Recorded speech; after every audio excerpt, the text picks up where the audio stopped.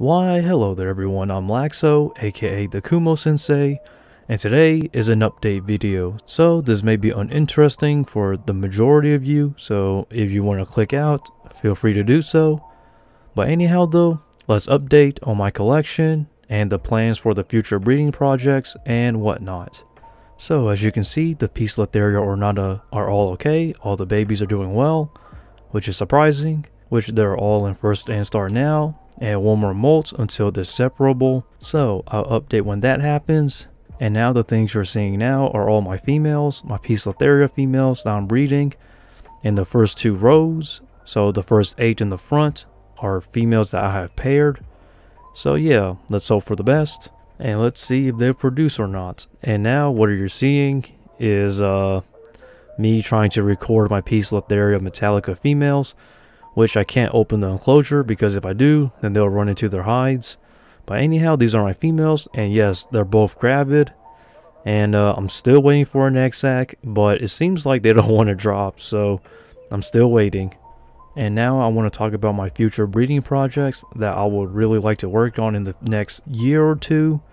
And uh, yeah, this one here is my Poecilotheria subfusca highland.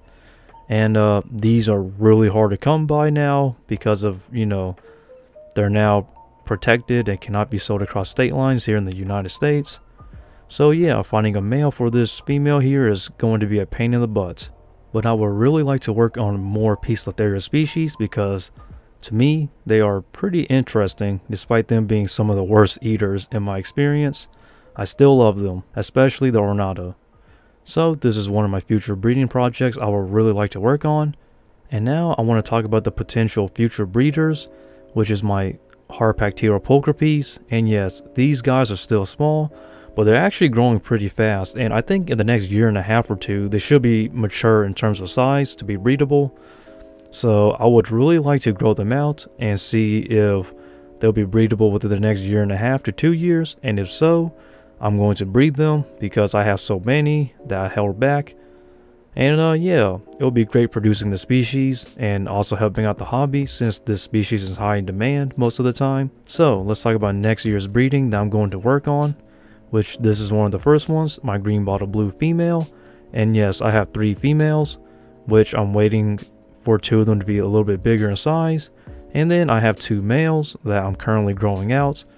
So yeah, so I have three females and two males, and those will all be future breeders for next year's tarantula breeding season or late this year, depending on how fast they grow. And now I want to show you my Chilobrachys species Electric Blue. And yes, I do have a male, but he's not mature yet. But this mature female here will be his future wife once he grows out.